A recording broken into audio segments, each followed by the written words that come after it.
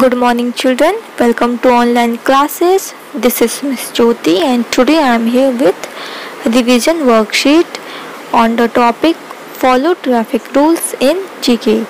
And children, you have to solve this worksheet by yourself. I am not going to tell you the answers. Alright? So now let's see what is there in this worksheet.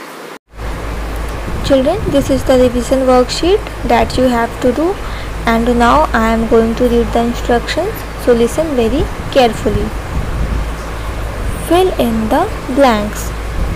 Children in this worksheet you have to fill the blanks okay? And there are 10 fill in the blanks that you have to do. And you can take help from the hint box given below. Alright? So number one while crossing the road we should look dash ways. Now fill the blanks okay? Second we should not dash on the road. Third we should use dash for crossing the road. Fourth we should wear a dash while cycling. 5 while walking on the road we should dash our parents' hands.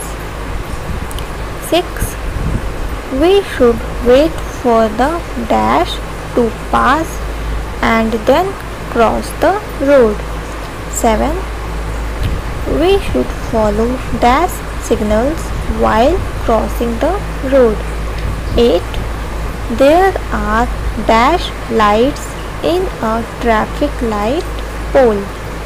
9 we should always walk on the dash. 10 while dash the road we should not run on the road. So children these are the 10 fill in the blanks that you have to do by yourself okay? So all the best. Bye children. Take care. Have a nice day